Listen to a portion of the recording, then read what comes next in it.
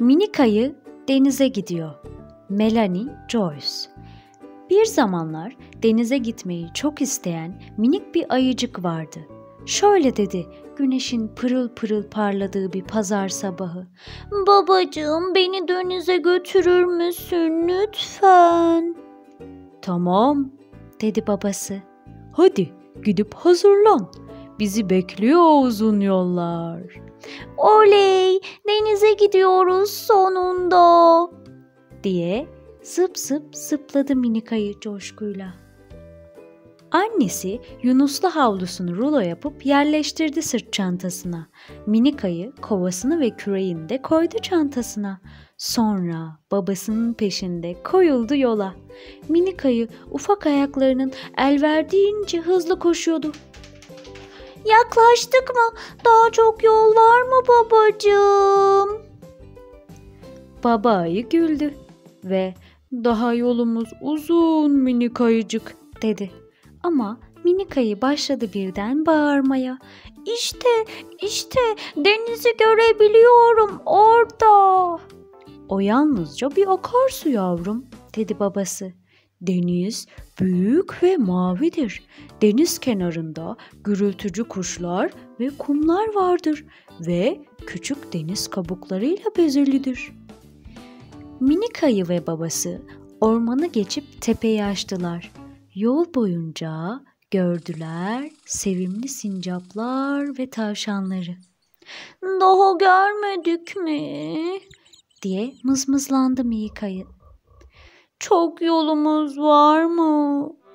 Sonra birden belirdi karşılarında büyük mavi suları pırıl pırıl bir göl manzarası. İşte deniz diye bağırdı minik ayı. Nasıl da heyecanlanmıştı.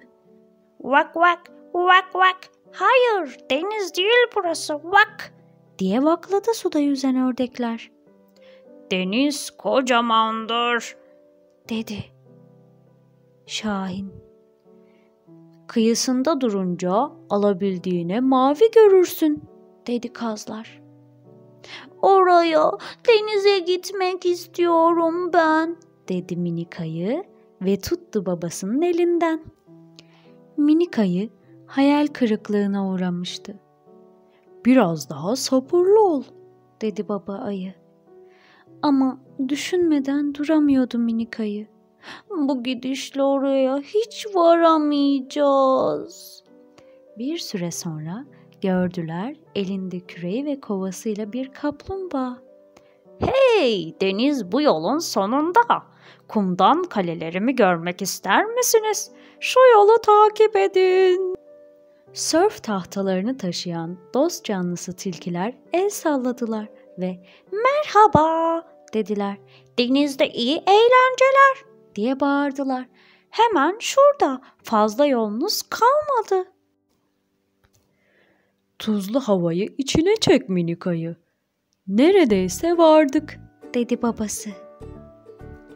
Denize yaklaştıklarını düşündükçe minik ayı heyecandan yerinde duramıyordu. Ama kumlu patika uzadıkça uzuyor, deniz bir türlü görünmüyordu. Daha gelmedik mi babacığım? Diye sordu minik ayı.